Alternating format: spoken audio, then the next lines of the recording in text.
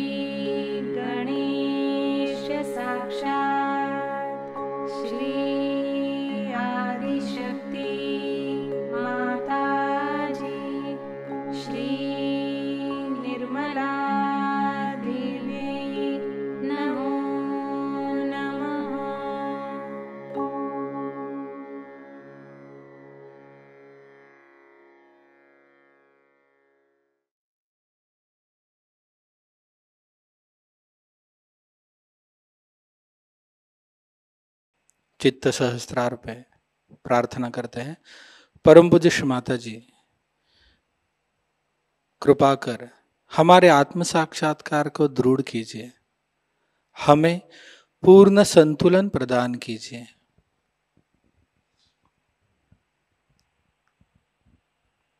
कुछ क्षण इसी ध्यान की अवस्था में बैठते हैं।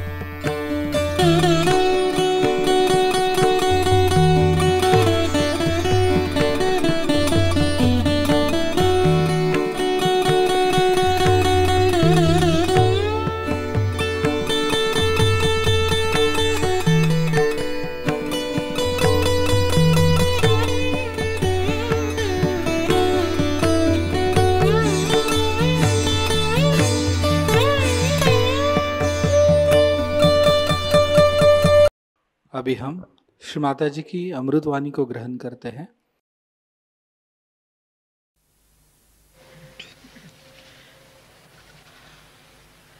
Today we are going to worship Shri Ganesh as you know in the whole of Europe America England they have lost faith in Sri Ganesha. Nor do they care for his powers and for his blessings. As a result, all his blessings are not on these countries. The first blessing of Sri Ganesha, which is I think is the highest, is the wisdom. that we learn what is good for us and what is bad for us what is constructive and what is destructive, what should we do to achieve our self realization? Those people who have got wisdom are very lucky people. But wisdom comes from no source but your own understanding of life. When a person starts thinking, why am I doing such and such thing? What is the effect of my doing? What is the result of my behavior? Is it good for me or bad for me? Then wisdom comes. Even if some people know that this is bad for them, still they do not have power to control themselves. Still they do lots of bad things which they should not do. The reason is the power of wisdom is not there. A person is wise who does not only know what is right and wrong, but also he knows very well his own power not to do something wrong. He just does not do it. Wisdom is a complete power within ourselves by which we try nothing. It just spontaneously works through us and we do things which are proper and right. In this wisdom, many people have risen very high in life. For example, we'll take the example of Kabir. Kabir was born to a weaver. They say they don't think he was born to him, but he was found by a weaver, whatever it is. And he belonged to Muslim family. But he realized that the Muslims, as they are practicing their Islam, is not going to give him what he wants. He has to seek himself. He has to know himself. So, what did he do is to go on the bank of river Ganges in Benares and he stayed there waiting for a great realized soul called as Ramanand, Swami Ramanand. When this Swami Ramanand came back after his bath, immediately caught hold of his feet. After bath, if somebody catches the feet of any uh, Brahmin, he would shout at him. But he was a saint, he was not a Brahmin. He said, My son, what do you want? He said, Sir, give me initiation. I want self realization. And Swami Ramanand immediately agreed. All the other people said, Sir, he is a Muslim. He is an orphan, brought up in a Muslim family. How can he give realization? He will not accept any of the principles which look like coming from Hindu religion. Ramanand looked at Kabir. They could see a great seeker there. He said, You don't know him, I know him. And he took him with him, and Kabira became a great saint after that. He is accepted by Hindus and Muslims because he had that power of wisdom. He went to a man who was not belonging to his religion, who may not have accepted him, who might have just thrown him in the river, also possibly. But he knew also through his wisdom that this man is the one who will love me because I am a seeker of truth. So, this power of truth works not only that you know what is right and wrong, again I say, but that you just don't do something that is wrong. Now one may say, Mother, what is the source again of this wisdom? The source is Sri Ganesha. The source is Sri Ganesha, which is the giver of wisdom. Once Sri Ganesha is insulted and he disappears behind the clouds of ignorance, then people start doing things which are unwise. This happens with many things. Supposing these days in the democratic countries, they are not supposed to say anything about the morality, about how people should behave, what should be their relationships.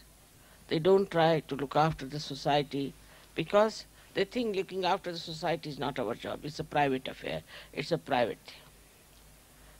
As a result, people take freedom into their hands and start insulting Sri Ganesh.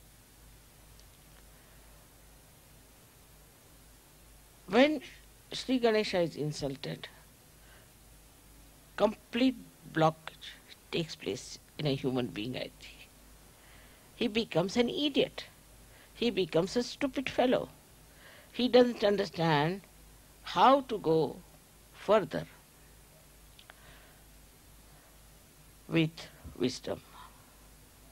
Without wisdom, whatever steps one takes is destructive. So, this is the first quality of Sri Ganesh that he gives us, bestows upon us wisdom. So, we have to respect Sri Ganesha within us. It's very important, especially for all these democratic countries which are now going to dogs. Their families are destroyed because their lifestyle is so horrible, their children are ruined. In every way, they are in a big jeopardy. This wisdom can be easily brought back if we awaken their Kundalini. If the Kundalini is awakened, this Ganesha can be awakened. Because without his help, Kundalini cannot be awakened. And if Sri Ganesha knows that Kundalini is to be awakened, he forgives everything, forgets everything, and comes to assist you to support the Kundalini's ascent. At every chakra, he is there to support you. Till you get realization, he is there to help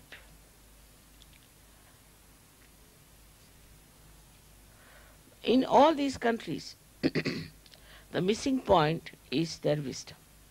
And that's why you find so much of destruction, so much of nonsense going on, and you can't understand why people are so stupid. The another power that Sh- Ganesha has is he generates innocence within us. We respect our innocence, we respect our chastity, we respect a lifestyle which is decent and decorous. In every scripture is written that we should dress up in a way that we are decent and decorous and that our body should not in any way express a indecent uh, feeling or indecent behavior on our part.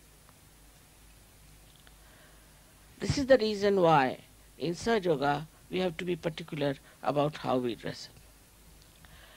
I think Sahaja Yogis have realized it that our dress should be decent, should be dignified, and that we should in no way try to show our vulgarity. Because if innocence is the most important thing a human being should have, if that is the complete decoration of a human being, then one should look after one's own chastity and one's own morality. In some countries, of course, they think the chastity is only meant for women and not for men. But it's not true. That's what the Islamic people believe. It's very wrong. It is meant for both of them. Like uh, a person who is uh, trying to force the other side, like the men trying to force the women to be chaste, and themselves are not chaste, the women will not be chaste. They may look, appear, they may try to be out of fear, but if they get a chance, they will take to life which is wrong because they see the other party, the men, trying to dominate them, then they think what's wrong? If they can do it, why not we do it? So the whole society has to take to very decent life and to a very, very uh,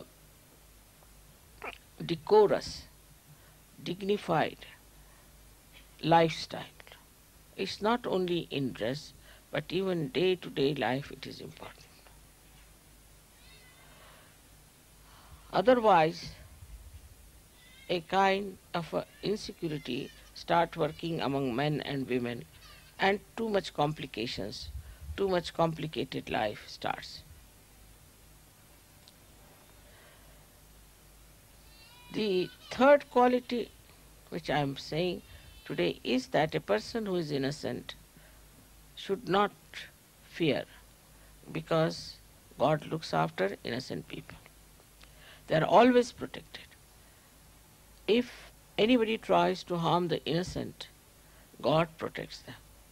And that's how you have seen many children who fall from uh, high stories, they are saved, and uh, so many things happen.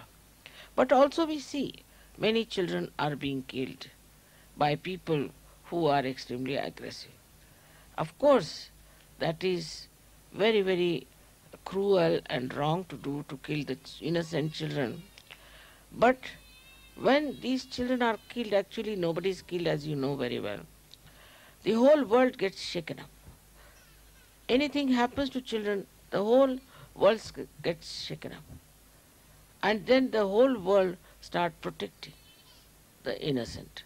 If some people, men are killed or something happens to them, nobody is so much bothered. But even one child is in difficulty, all the people combine together to save that child. It's so important. It's not the child, but the innocence of the child that generates that feeling that we have to save. That innocent little thing which is having a problem. That's why in the whole history you find wherever there have been description of children being killed or where innocence has been attacked, the whole society historically also has revolted against it. And this revolt comes from Sri Ganesha's power that he can definitely create a feeling of detest for people who try to be unkind to children. If you see in the newspaper also, they will show how the children are suffering. What is the problem of the children? What they suffered? It's a very, very uh, touching thing to hurt the children. In Sahaja Yoga, we have now children who are born realized. And we understand their innocence. We try to keep them out of bounds from all these horrible things that are happening today in the world.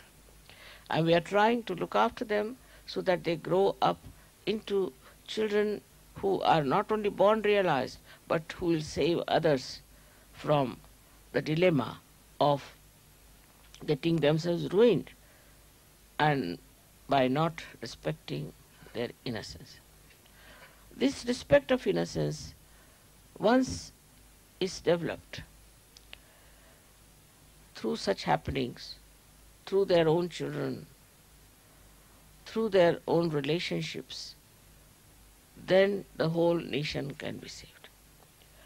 Another way is to worship Sri Ganesha, which comes from the Mother Earth, the principle of innocence. The Mother Earth is so innocent. Whether you are good or bad, she gives you fruits, she gives you tree, she looks after you. Whether uh, you are uh, telling lies or you are deceiving people, still she does it. Of course, up to a point. And after that, she may bring forth some sort of a calamity like an earthquake or something like that. Now, the earthquake mostly is suspected always in the Los Angeles area, very much. And uh, they practically every year there is a shake up there. The reason is the media of cinema is in Los Angeles. And they are generating all these funny ideas about insulting the Ganesha within us. This is the reason why all the time there is a complete danger for these people who are living in that area who support that. Also, America seems to be quite in danger as far as the nature is concerned. The reason is from America, all these ideas ooze out and people accept them blindfolded. I don't know why they accept these ideas. These ideas have come to us, say, we can say Freud has brought it. Now, Freud could not prosper in Germany. He was here, he was in Austria. He could not prosper here. People didn't listen to him. But when he went to America, he got all the support. And with that support, he prospered. He got that uh, support because he opposed uh, completely the idea of leading a chaste life. And he said, This is all absurd, this is all nonsensical, and one should not listen to all these things. And he started the whole theory on a very, very demeaning principles. And people accepted. Then same Germans, same Austrians, same Europeans accepted Freud blindfolded. Because somehow when it comes from America it becomes collective. Because as you know, America is the country of Sri Krishna who is for the people, who is for collective. And that's how whatever comes from America becomes collective. And if it is poison, it spreads very fast and it really paralyzes the whole world. So now we have to be wise to see what is destroying us and what is destroying our inner being. For Sahaja Yogis, it is very important. Because if, say, there's a cloth or a sari which is blown off by the wind, even if you can hold it on one corner, you can hold it. And after some time, the whole thing can subside. And this is what has to happen actually to the world when Sahaja Yogis will hold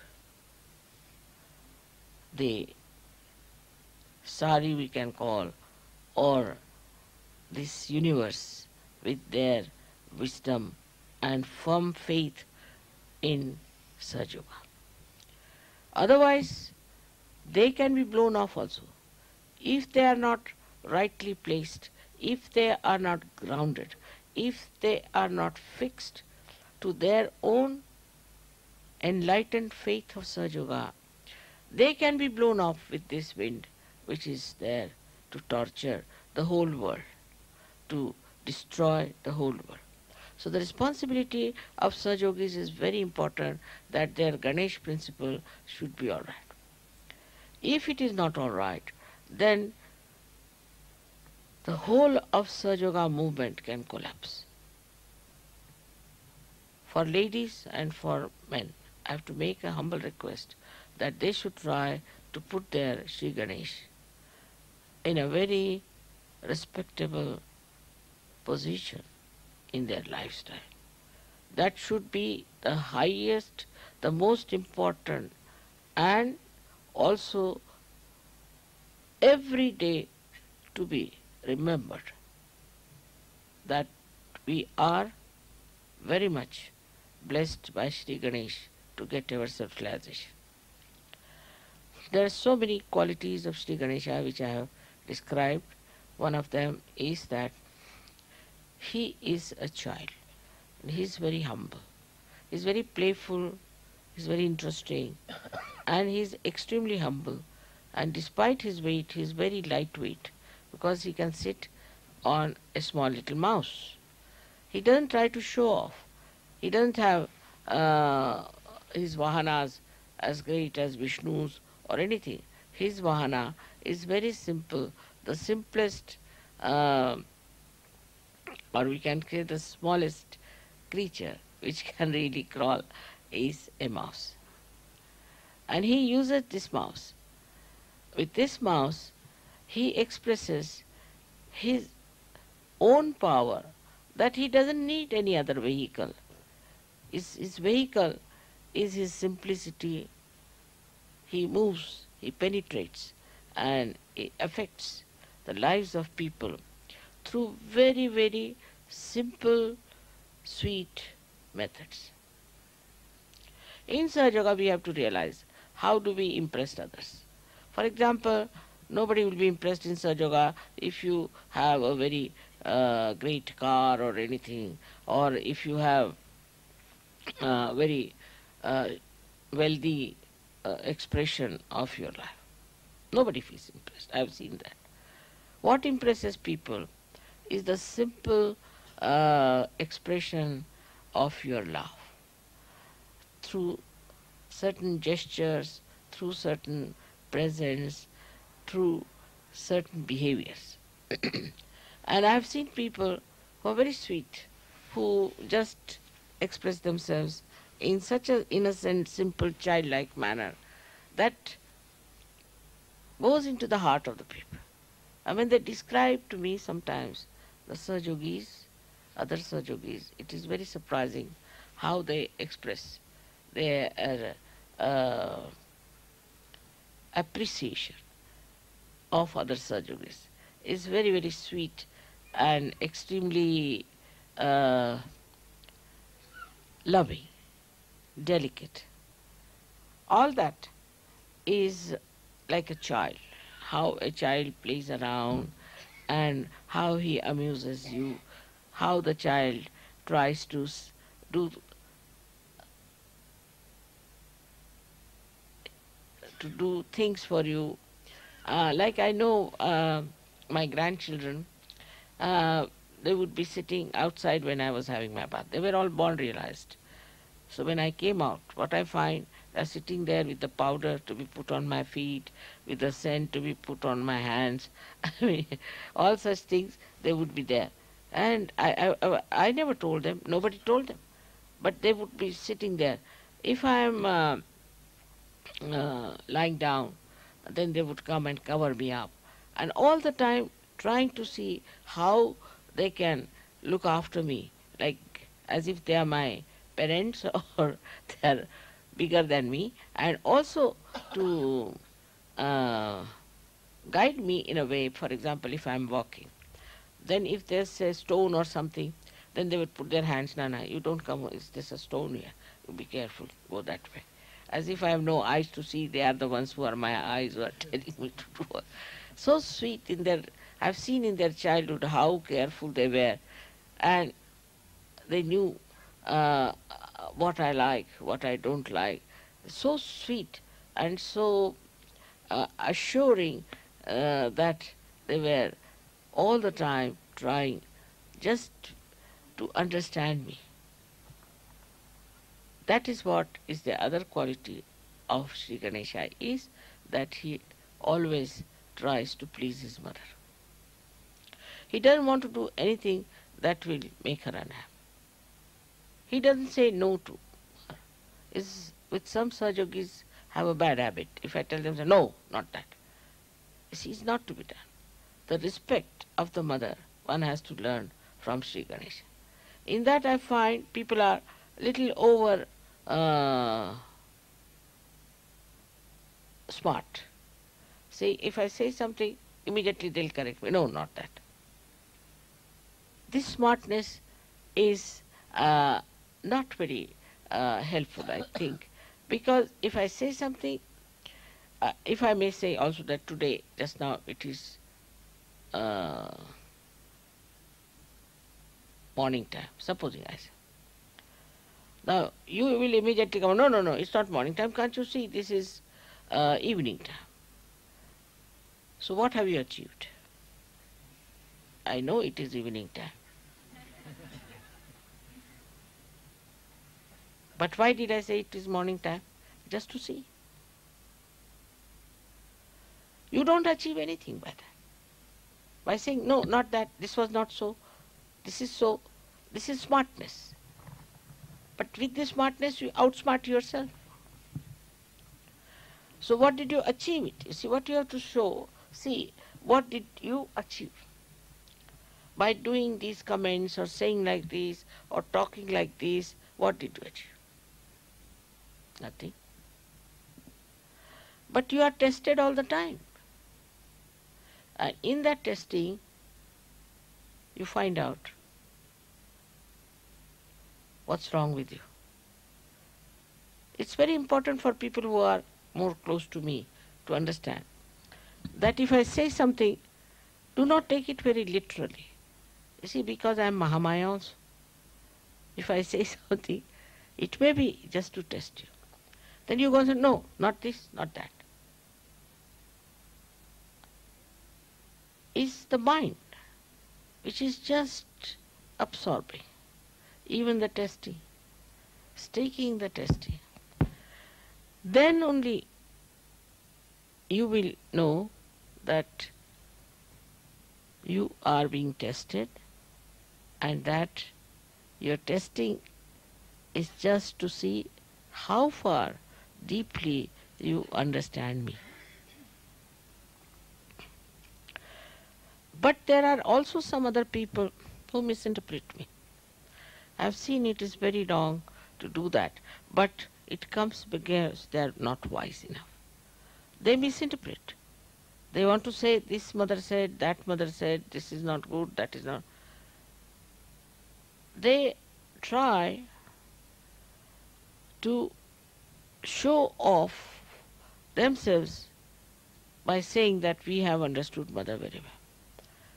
It's not easy to understand me, I must tell you very frankly. You cannot understand me very well, only thing try to understand yourself. I am like a mirror for you. So when you look into the mirror, what do you say? You cannot understand mirror, but you can understand yourself. So whenever you look into the mirror, you try to understand yourself. You don't look into the mirror to understand the mirror. Once you try to understand the mirror, the mirror will be broken and finished. And your image will be also finished. So, this is a very simple thing but quite subtle. And that's what is the quality of Sri Ganesha. That he knows what his mother will like, each and everything. And he does everything that is good for him because he's by that he is pleasing his mother. His complete dedication is to the mother, is not to any other thing, not to any other deities. He fought with all of them. He is not bothered about who others are. He goes to all of them through the understanding of the mother and respects them through the understanding of the mother. But some people I've seen uh, still cannot do that. They still stick on to uh, some sort of a deity they have been worshipping, some sort of an ideology they have been having. Then they are not fully in connection with me. And that is what is that he is just in connection with his mother. To him, she is everything. She is the source of knowledge.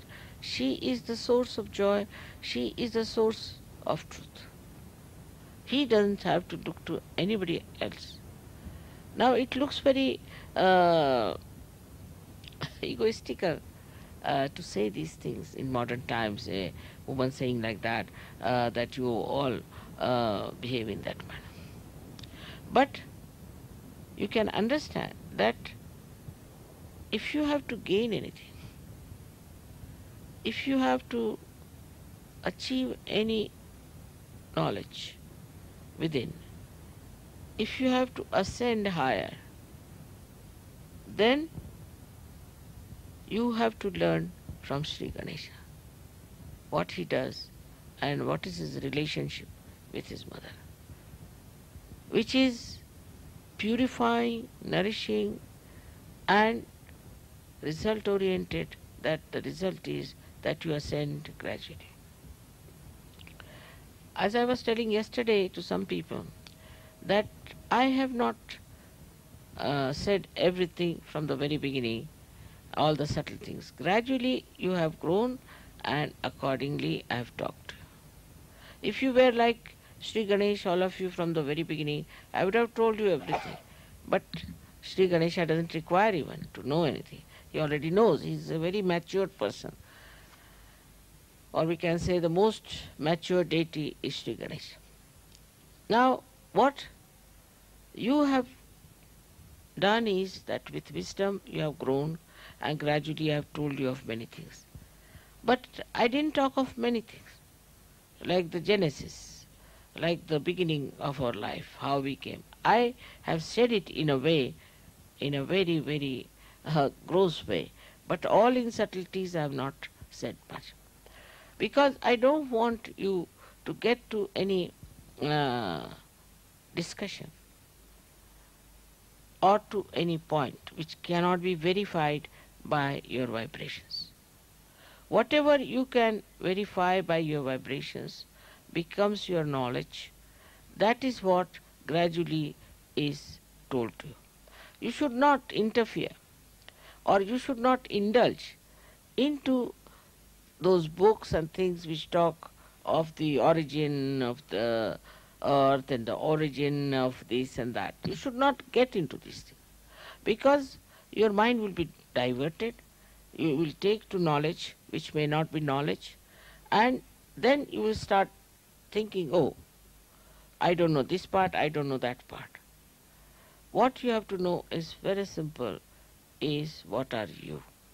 You are the spirit, and the light of the spirit will tell you everything gradually as much as you can bear it. It will not tell you something that you cannot bear. It's a very uh, good analogy when we say that you are the light. But the light which you are carrying is very different from this ordinary light. This light is uh, doesn't understand, doesn't think.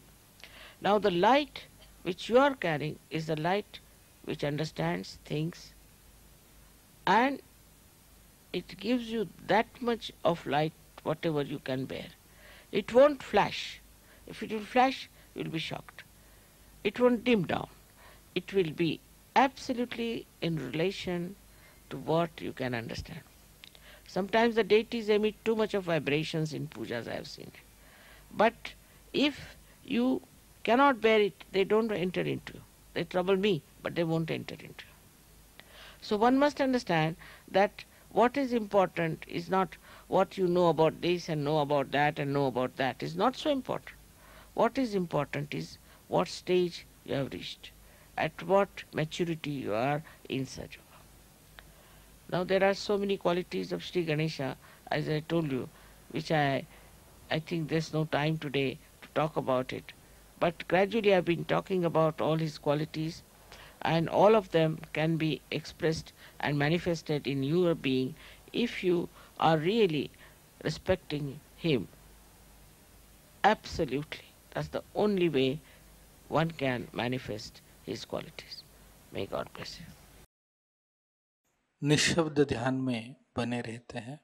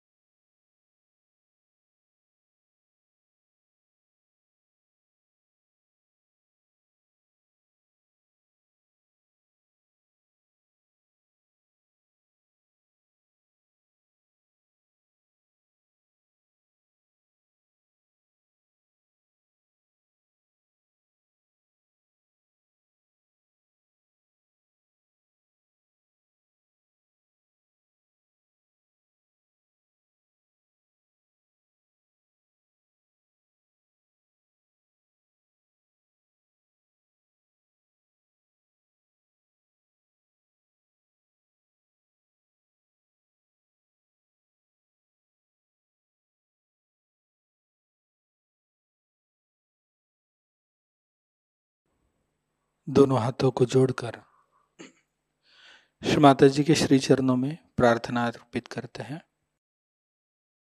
परम पूज्य श्री माता जी आज का यह सामूहिक ध्यान हम आपके श्री चरणों में समर्पित करते हैं। श्री माता जी आज की अमृतवाणी में आपने जो हमें ज्ञान प्रदान किया है, कृपा कर वह हमारे अंदर घटित हो जाए। माता जी संपूर्ण जग में विश्व निर्मला धर्म स्थापन करने हेतु कृपा कर आप हमें सहयोग प्रचार प्रसार का एक शुद्ध और सशक्त माध्यम बनाइए। परम पूज्य माता जी कृपा कर हमारी सभी प्रार्थनाओं को स्वीकार कर हमें आशीर्वादित कीजिए। नमस्कार कर। कलेक्टिव बंधन लेते हैं।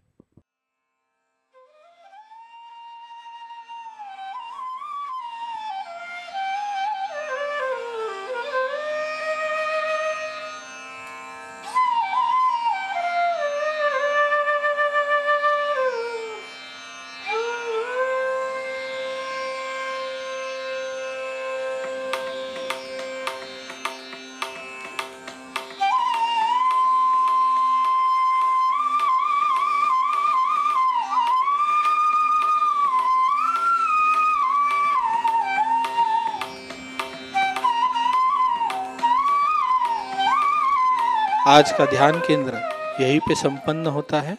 आप सबका हृदय से धन्यवाद। जय माता जी।